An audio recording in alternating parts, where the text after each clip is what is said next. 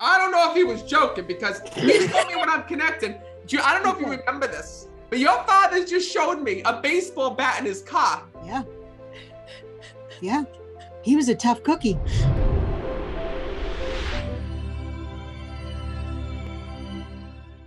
Christina Dite rich. is it Dietrich? Hi, Matt. Yes, Hi, Dietrich. Christina. How are you? Dietrich. Good. How are you? Good. Where are you guys from? We're from Jersey. Oh, good. Well, first of all, I'm glad that you guys are here. Thank you. Thank Us you. too. Now, right away, first of all, um, is this your mother with you? Yes. Okay, because right away I keep hearing I'm the father. So first of all, that was your dad that passed away. Yes. Mhm. And know that he's here and that he's with you because right away I saw your dad lean over and kiss you and he wants to let you know that he's here. And you know, your father was a tough guy here in this Oh.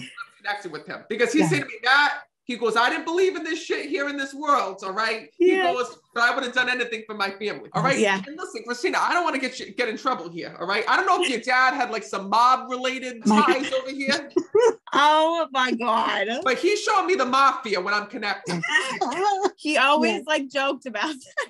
I don't know if he was joking because he told me when I'm connecting. Do you- I don't know if you remember this, but your father just showed me a baseball bat in his car. yeah. Yeah. He was a tough cookie. Your, your father shows me like when people used to screw around with them. I literally see your dad being like getting out of the car, opening the door, Yeah. getting out of the car, going to the back, getting the baseball bat, all right, and getting out and like getting ready. All right, you want to start something? Come over Yep. here. That was my father. That was my father. Yes. He- he shows me him all dressed up on the other side. Like even though he had the baseball bat, whatever, he's dressed up in a suit, like he could be coming Yes. from, from church or whatever, all dressed up. Somebody gives him a hard time. He goes to the back, he gets the baseball bat over here.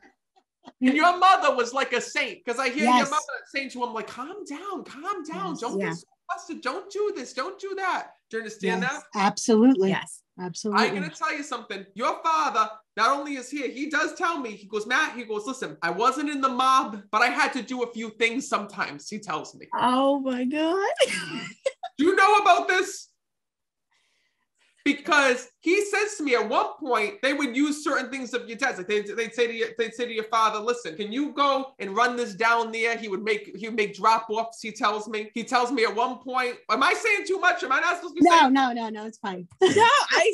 She Shut more than I do. No, so. I know. Go on. What do you mean you know? Why, why, why is this? So hot? Listen, you every your father's saying to me because I'm saying to me, is there is there am I, is this going to be an issue? I'm asking your father. And your guy, your father goes, everyone's dead now. There is no issue. Right, right, Because the right. mob died. Everybody died. He says to me. Yeah. Oh my God. Yeah, it's true. It's But true. He, my father was my father was not a big guy, but he you didn't want to mess with him. You didn't want to open your mouth. Like he would fight you like like nobody's business. So like I used to joke around and call him Napoleon because he wasn't a big guy, but he, was ready for a fight at any given moment. And it's funny because your father goes to me, Matt. He goes, "I wasn't a bad guy." He says, "But this is what you did back then." He goes, "You, he goes, you, you were to show people that you weren't afraid that you couldn't be pushed around." He says, Right. "And yeah," he goes, "You know, I was asked." He says to be in the mob. He goes, "That was never my thing." He goes, "But when Right. somebody comes to you, he says, they ask you to do a favor." He goes, "And and they got those connections." He goes, "You do it, and you don't say a word." Right, right. He grew up in Brooklyn, and they were all you know. Yeah, Oh, no wonder why. yeah, Because he's in Brooklyn. acknowledging that. Here's your father, right? He's cracking me up, this guy. First, he's showing me threatening people with a baseball bat. he's showing me in the kitchen cooking when I'm connecting with him. Yes. Yes. Your Yes. father was a hell of a cook. Yes. Yes, he was. Very He showed cook. me he's got all the all the all the fresh Italian meats. All right, he's got the salami, he's got the Yes. sausage, Yes. the mortadella, he's got all this stuff. Right?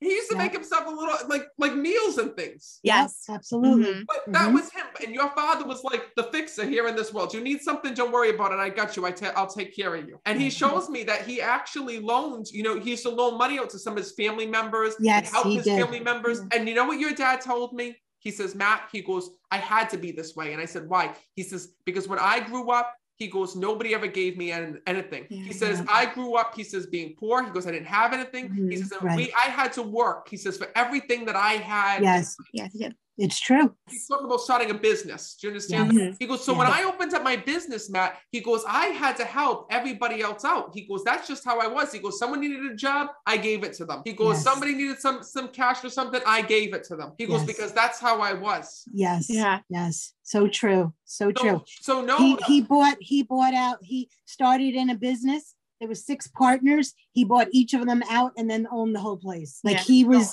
he was a very hard worker and Mhm. he provided very well for his family. So know that your dad says to me that the one thing that he wants you to know is that you were the love of his life here in this world, and you still are.